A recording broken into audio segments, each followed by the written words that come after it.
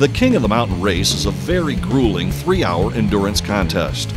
Several laps into the race, drivers were faced with the decision of making a pit stop for fuel or tires.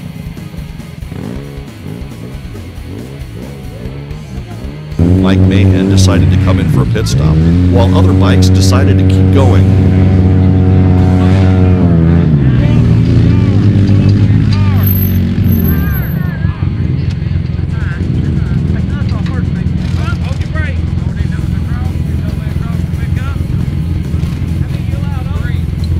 In Mike's case, it proves very wise to have a good volunteer pit crew who can shoulder the load. The right rear might have been getting low or going flat. Regardless, it's off and a new one is bolted on.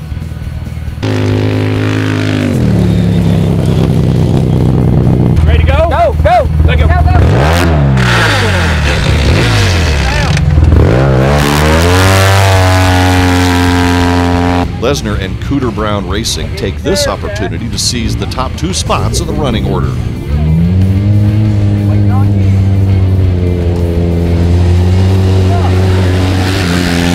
Doug Marsh and the guys from Kingsport, Tennessee were running a very good race, but continue to have problems with equipment.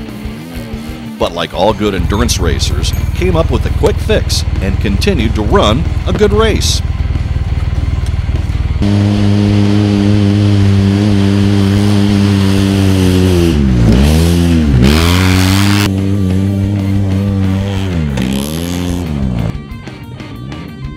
Custom RZR of Chris Doherty had run well all day long, tackling every section of the course to maintain a solid fourth place at this point of the grueling three hour endurance race. But it was Luke Lesnar of Dirt Tracks magazine in his RZR S that was burning up the track. He handled all areas of the track well, but lost four wheel drive, causing him problems in the steep, rocky section of the course. There's one section that's it's a just an unbelievably rocky uphill section, and it's wet.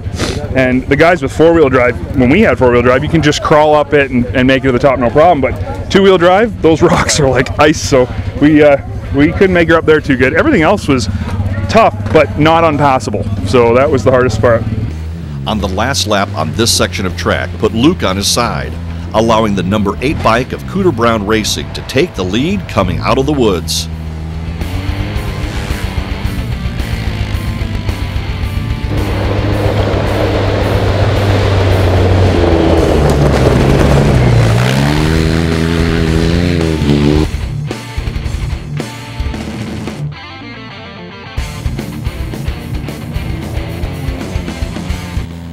Dan held on through fatigue and the demanding speed section of the course and maneuvered through the steep inclines to take the checkered flag. The other guy that, that was leading, is he the guy that had the brand new one with the white Yeah, stripe? yeah. No, he Rolled was upside down. Oh, yeah. there we go. Yeah, I was like, I hope that's him. We pushed him out of the way. He's upside down. First Yeah. monster wins the race. Well, he's I back like up it. now. He got up on his wheels and we went around him. His four wheel Oh my drive. God. He don't have front wheel drive. I'm not sure if I had it or not the whole way. I don't know. I just kept it to the wood, man. On. I lost a I lost a windshield. I almost lost my hood. I got my air pump and all that shit's gone. got it, though. Headlights. oh, that was a great time. Holy smokes. Dan was followed by Chris Doherty in second and Dirt. Tracks Racing in third. Just glad it's over.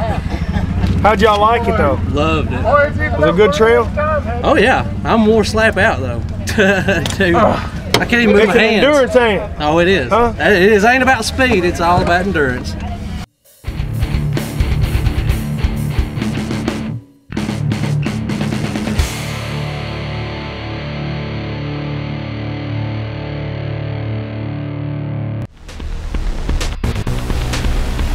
Don't go away. We're going to sling some dirt at the 2011 High Lifter Mud Nationals in Jacksonville, Texas. Slingin' Dirt Series is brought to you in part by EPI, your performance clutching and driveline specialists. By High Lifter, dig deep, ride hard. And by VP Power Sports, Chattanooga's off road excitement source.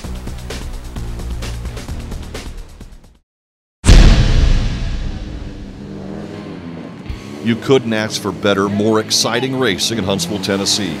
Both champions were determined on the very last lap. Dan Nudry of Cooter Brown Racing is king of the mountain for the side by sides. Uh, you know, we had a lot of great participation, good, good crowd here today. Uh, the conditions were, were pretty tough on the trail or on the track, and uh, you know, the guys persevered, made it through it.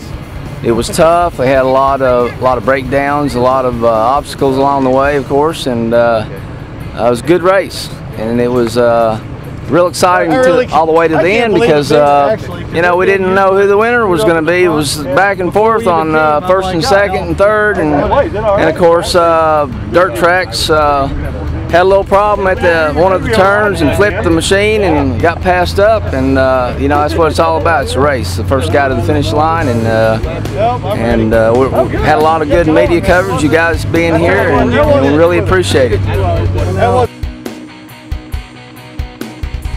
Uh, I guess just keep running hard, but yet try to man keep everything intact. You know, trying to. Some of the guys really bonsai down the rocks. We kind of kept an even pace going down there. Tried to keep our wits about us there, and just ran. Tried to run smooth and consistent, and keep the speed up, but be smooth. So that was it.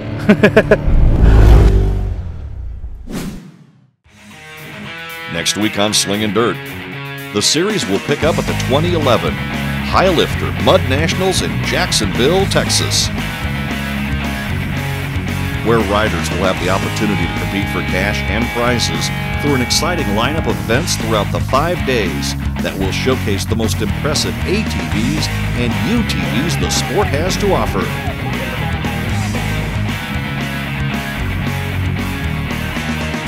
We'll take a look at the EPI Endurance Challenge, the Can-Am Mud Bogs, and the Polaris Motocross.